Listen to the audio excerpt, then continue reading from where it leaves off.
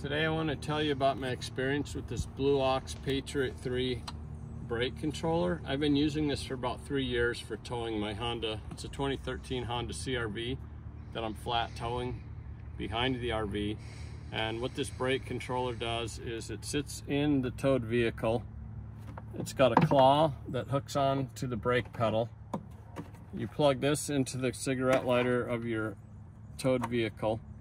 And then this, then you go through a quick little setup routine, which I'll show you in a minute.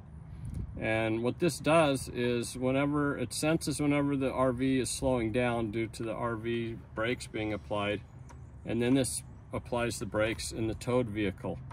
It's a progressive uh, brake controller, meaning that the harder you brake in the RV, the harder this will brake as well. Um, it's a simple system. It's There's no wires that have to go between the RV and the controller, and I've had very good experience with it. Okay, the second component used with this brake controller is um, this control head. This goes in the RV on your dashboard. It also plugs into the uh, cigarette lighter. And I'll show you when I demonstrate this, but this will actually allow you to set the sensitivity and the braking power and also just to do a test of the brake controller to make sure it's working right. Okay, here's how easy it is to install this. You set it on the floor.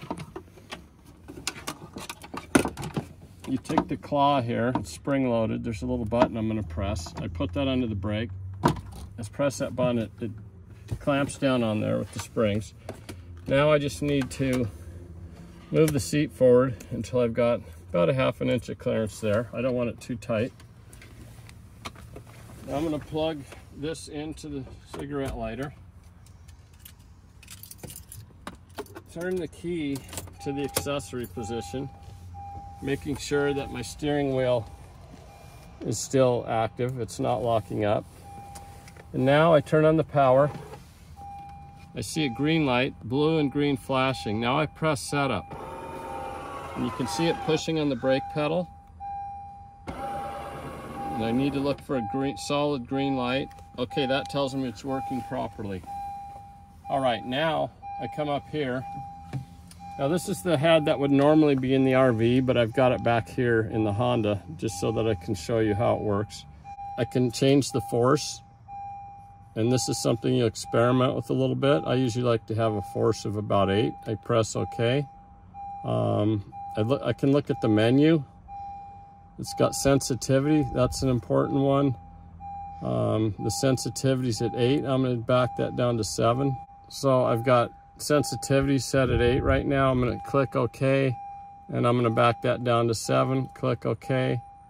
Um, now I'm going to go down to, it's already paired with the remote. Uh, the backlight is on, max force. Let's change the max force down to seven, down to, uh, or up to eight. Click the plus, max force, okay. Everything's ready to go here. I'm gonna click okay. So now um, there's a backlight that I can turn on. Now I'll show you, if I press this brake button, it should activate the brake. So I'm gonna press the button. And you can see it's doing a manual brake. I'll press it again. And that's all there is to it. Very simple, very effective. Um, gives you a lot of peace of mind when you're towing on the road because there are going to be times when you have to do an emergency stop. And it's good to have that extra braking on your on your towed vehicle.